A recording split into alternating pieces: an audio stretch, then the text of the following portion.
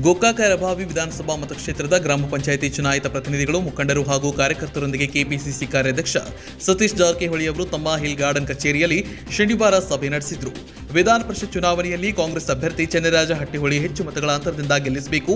ಈ ನಿಟ್ಟಿನಲ್ಲಿ ಎಲ್ಲರೂ ಒಗ್ಗಟ್ಟಾಗಿ ಕೆಲಸ ಮಾಡಬೇಕು. ಅಭ್ಯರ್ಥಿಯ ಗೆಲುವಿನಿಂದ ಪಕ್ಷಕ್ಕೆ ಶಕ್ತಿ ಬರಲಿದೆ. ನಿಮ್ಮ ಮೇಲೆ ಹೆಚ್ಚಿನ ಜವಾಬ್ದಾರಿ ಇದೆ ಅಂತ ಮುಖಂಡರಿಗೆ ತಿಳಿಸಿದ್ರು.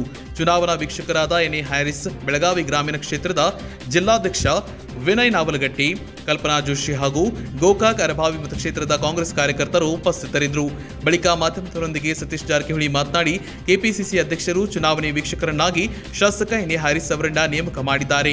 ಈ ಹಿನ್ನೆಲೆಯಲ್ಲಿ ಅವರು ಪ್ರವಾಸ ಮಾಡಿ ಶಾಸಕರು, ಮಾಜಿ ಶಾಸಕರು ಮುಖಂಡರನ್ನ ಭೇಟಿ ಮಾಡಿ ಚರ್ಚೆ ನಡೆಸಿದ್ದಾರೆ ಅಂತ ಹೇಳಿದರು.